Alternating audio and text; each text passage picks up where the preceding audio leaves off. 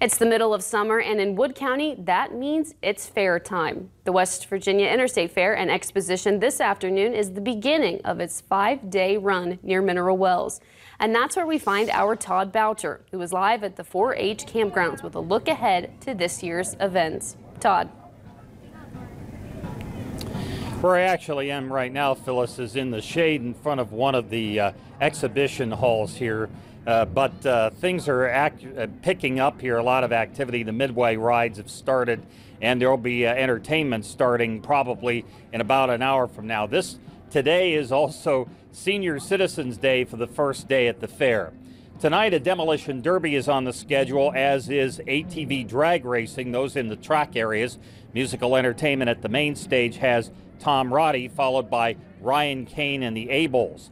Now, the big issue for the fair this year might again be the weather. Kirk kind of mentioned that a moment ago, especially tomorrow with rain in the forecast. And the fair officials have told me even the threat of rain has had an effect on attendance in recent uh, recent years.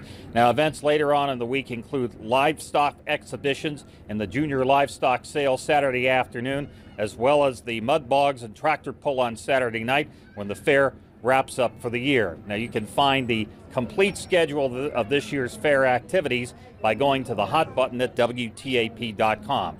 And a uh, word to the wise if you are at the fair this week with the temperatures expected to soar, it's a good idea, as I'm doing right now, I guess, to take frequent breaks and drink plenty of water.